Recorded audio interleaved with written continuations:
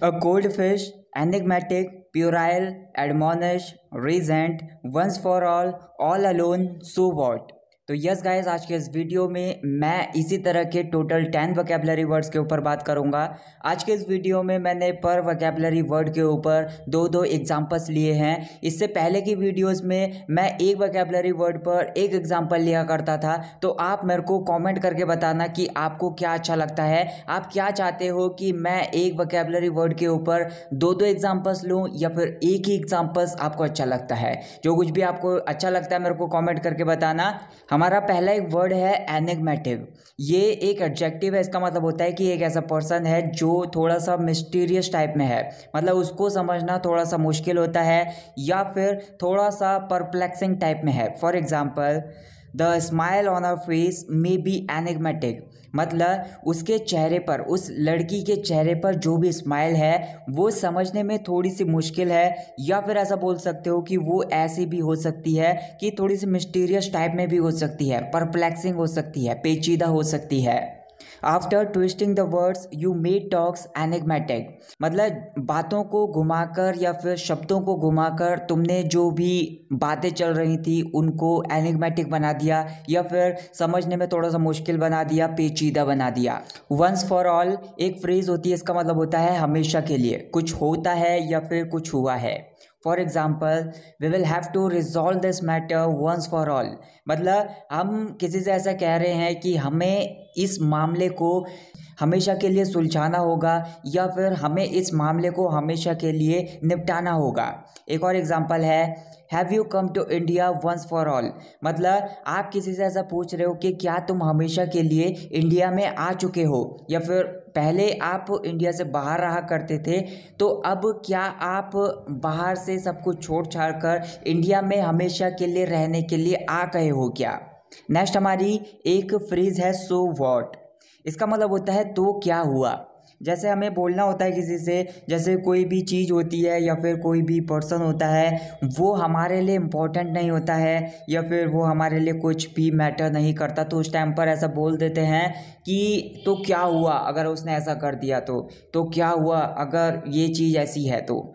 तो ऐसा बोल देते हैं। तो जैसे एग्जांपल है so what if he knows your trick मतलब तो क्या हुआ? अगर वो तुम्हारी ट्रिक जानता है, तुम्हारी चाल जानता है तो। मतलब उस पर्सन को लेकर मुझे कोई भी फ़र्क नहीं पड़ता, या फिर वो पर्सन बहुत ही ज़्यादा मैटर नहीं करता, या फिर कुछ भी मैटर नहीं करता। एक और एग्जांपल है so what if she didn't add sugar in tea मतलब एक लड़की है, वो आपके सामने चाय लेकर आई है, लेकिन उसने चाय में चीनी नहीं डाली।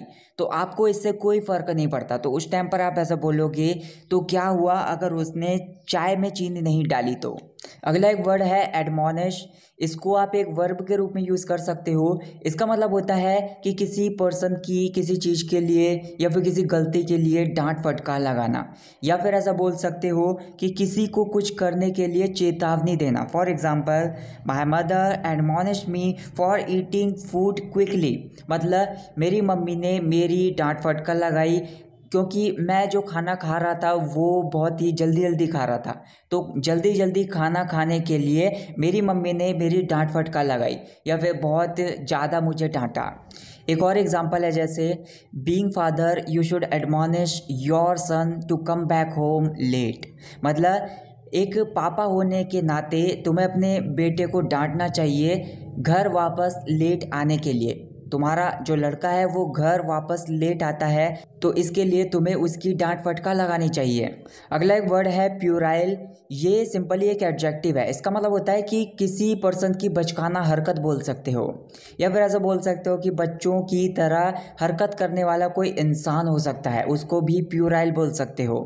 तो जैसे एग्ज़ाम्पल है हिज नेचर इज़ प्यूराइल मतलब उसका जो नेचर है, उसका जो स्वभाव है या फिर उसका जो व्यवहार है, वो प्यूराइल है मतलब बच्चों की तरह हरकतें करने वाला है। एक और एग्जांपल है जैसे I don't like your puerile talks मतलब तुम जो बच्चों की तरह हरकतें करते हो या फिर बच्चों की तरह जो बातें करते हो तो तुम्हारी बचकानी बातें मुझे अच्छी नहीं लगती। रिजेंट एक वर्ब है, इसका मतलब होता है कि किसी बात का बुरा मान जाना या फिर किसी बात की वजह से किसी पर्सन से नाराज़ हो जाना। बहुत ज़्यादा दिल पर चोट लगना, ऐसा बोल सकते हो। तो जैसे एग्ज़ाम्पल है I resented the way she talk to me मतलब जिस तरीके से उस लड़की ने मुझसे बात की तो इस बात का मुझे बुरा लग गया, या फिर इस बात से मैं नाराज़ हो गया, ऐसे बोल सकते हो। एक और एग्ज़ाम्पल है would you resent my being here मतलब मेरे यहाँ होने से क्या आपको नाराज़गी होगी? या फिर क्या आप नाराज़ हो जाओगे? या फिर क्या इस बात का आपको बुरा लगेगा? ऑल अलोन एक फ्रेज़ होती है, इसका मतलब होता है बिल्कुल अकेला, कोई पर्सन हो सकता है या फिर कोई भी चीज़ हो सकती है। जैसे एक ऐसा घर है जिसके आसपास कोई भी घर नहीं है तो वो ऑल अलोन है मतलब बिल्कुल अकेला है, ऐसे भी बोल सकते हो।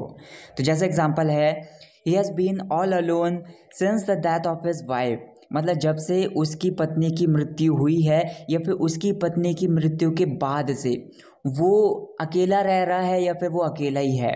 एक और एग्ज़ाम्पल है it was scary living all alone in that house मतलब उस घर में अकेले रहना बहुत ज़्यादा डरावना था, ऐसा बोल सकते हो। अ कोल्ड फ़िश ये एक फ्रेज़ होती है। इसका मतलब होता है कि एक पत्थर दिल इंसान, या फिर ऐसा बोल सकते हो कि एक ऐसा इंसान जो अपने फीलिंग्स को या फिर अपने इमोशंस को किसी के सामने एक्सप्रेस नहीं करता है, किसी के सामने व्यक्त नहीं करता है। तो उस पर्सन को एक कोल्ड फ़िश बोल सकते हो। तो जैसे एग्जांपल है we know nothing about a new neighbour he is a cold fish मतलब हम अपने नए पड़ोसी के बारे में कुछ भी नहीं जानते हैं, क्योंकि वो हमसे कोई भी चीज़ें शेयर नहीं करता है, या फिर अपने इमोशंस को, अपनी फीलिंग्स को हमसे छुपाता है। तो इसीलिए हम अपने नए पड़ोसी के बारे में कुछ भी नहीं जानते हैं। वो एक पत्थर दिल इंसान है। एक और एग्जांपल है जैसे she is lovely by nature but her husband is a bit of cold fish मतलब जब बात करें उसकी पत्नी की तो वो स्वभाव से प्यारी है। मतलब उसका जो नेचर है, वो बहुत ज़्यादा अच्छा है। लेकिन जब हम उसके पति के बारे में बात करेंगे तो उसका जो पति है, वो थोड़ा सा पत्थर दिल इंसान है, क्योंकि वो किसी से भी बात करना पसंद नहीं करता, या फिर अपनी फीलिंग्स को, अपने इमोशंस को बहुत ज़्यादा छुपाता है, या फिर ऐसा बोल सकते हो, किसी के सामने नहीं दिखाता है। तो इसी की वजह से उसका जो पति है, वो एक कोल्ड फ़िश है थोड़ा सा ऑल ओवर एक फ्रेज़ होती है, इसका मतलब होता है सब जगह या फिर हर जगह। कुछ है जो कि प्रेजेंट है एग्जिस्ट करती है। तो जैसे एग्जांपल है who pasted the poster all over the wall मतलब आप किसी से पूछ रहे हो कि पूरी दीवार पर पोस्टर किसने चिपका दिया? एक और एग्जांपल है you puked all over the carpet puke का मतलब होता है उल्टी कर देना। तो यहाँ पर ये बोला जा रहा है कि तुमने पूरी कारपेट पर या फिर तुमने पूरी दरी पर बहुत ज़्यादा उल्टी कर दी। मतलब पूरी दरी पर उल्टी कर दी, पूरी दरी सान दी उल्टी से। एम्ब्रेस एक वर्ब है, इसका मतलब होता है कि खुशी से किसी को गले लगाना या फिर खुशी से किसी चीज़ को, किसी पर्सन को गले लगाना या फिर उसको अपनाना, ऐसा बोल सकते हो। He met his wife at airport after two months he embraced her मतलब दो महीनों के बाद वो अपनी पत्नी से एयरपोर्ट पर मिला।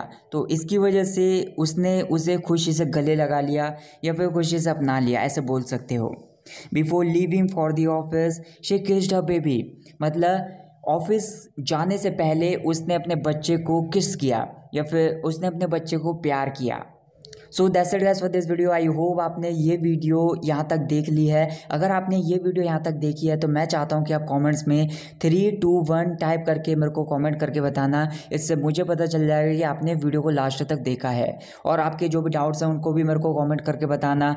और अगर वीडियो पसंद आई हो तो वीडियो को ज़्यादा से ज़्यादा लाइक कर देना, ज़्यादा से ज़्यादा शेयर कर देना। चैनल को सब्सक्राइब कर लेना। Thank you so much for watching this video I catch in the next video take care